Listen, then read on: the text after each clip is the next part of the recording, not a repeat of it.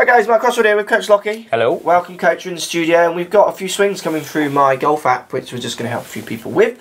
Um, interesting ideas I think with aim and club path on this one which we'll talk about. Let's get stuck in.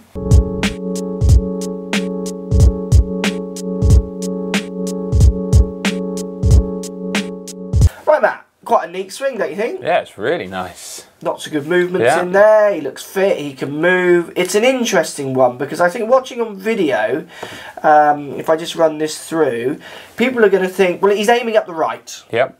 So I'm presuming it looks like there's depth on the left and room on the right. Mm-hmm. So you've got to always take into account when people are sending swings as well the Situations. situation involved also, so we can Yeah. only do like a limited job as such.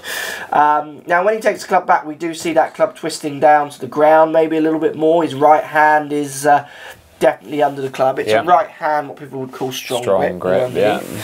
Now, as soon as he puts that twist into that club, there's a good chance that club might be closed to a path. It Yeah. can be open to a path as well, subject to his path.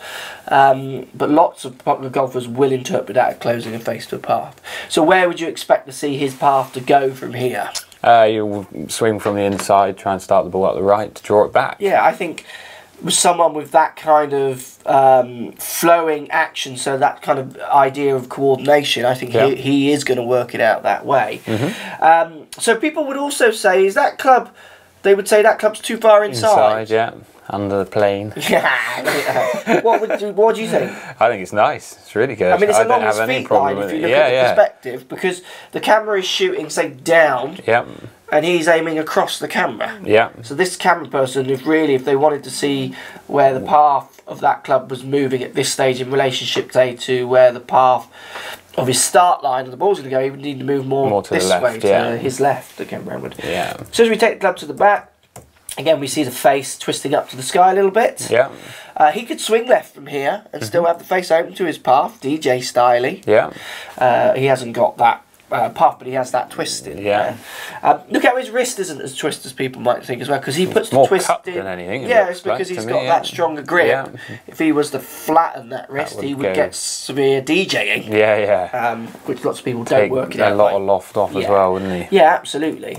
Um, as he starts down, it's a nice movement. He starts into the ball. Um, looks like he's pushing his pressure onto his front foot. He's turning his body athletically, and yeah, ball starts up the right, and he looks like he's swinging. Well, if you put the launch monitor in line with the start line of the ball, I would say his club path is zero. Pretty If- uh, neutral, isn't If it? you yeah. put the launch monitor in line with his target at the end after the curvature, it would say he's swinging from the, the inside. inside, yeah. So the only thing I would, if you were teaching someone like this, I would want to have a conversation with them about do they want to fade it? Mm-hmm. Like, do they want that in their armory? You just want to know what they their shot shape and what they're more comfortable with, don't you? And I would say, like, have you tried a fade before? Yeah, I can't hit that shot. Well, maybe if we work on that shot, it gives you a few more options on other courses, and you might Yep. be able to get lower because there might be some chances. Like this whole wind off the right, he might want to cut it into the wind, for instance. Yeah, like if he's a drawer as well and wins off the right and troubles left, then he's literally aiming.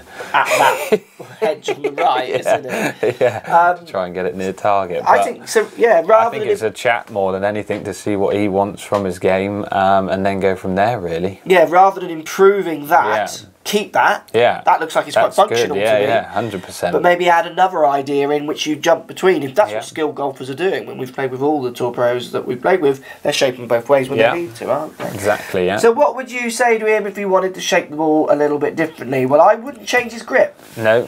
I'd go for the kind of DJ cut idea that he was using US Open style. I'd aiming straighter, Yeah. even up the left. Drag the handle a bit. get that handle coming in left Forward, as he yeah. Comes through.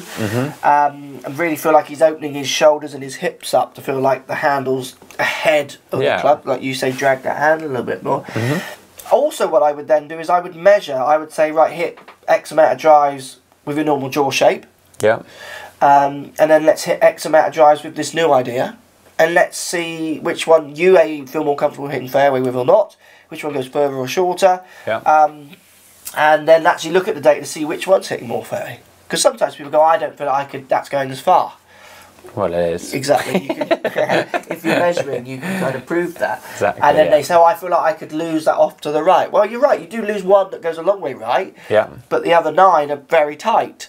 Where your draw, you are um, kind of not tighter dispersion, but you are overall, as you haven't got the really wide one, but you are a little bit more spread. So it is again, it'll be working that idea into a gaming environment. Yeah, Quite a good swing. really good. Um, enjoy Really hitting the good. draw. I would say if he's not draw, if he's hitting shots and they're not drawing, he's probably heeling, striking Heeling strike, yeah. and not realise he's getting there. Um, and doesn't have to change any of those good flowing motions in there. Thank you, coach. No problem. Ambassador. Thank you. Oh, you had to drop it in, Gone didn't you? said it? Follow me on Twitter, Facebook, Instagram, Snapchat, Periscope, all the normal social places. Also, come and visit my new website, markcrossfieldgolf.com. See you over there.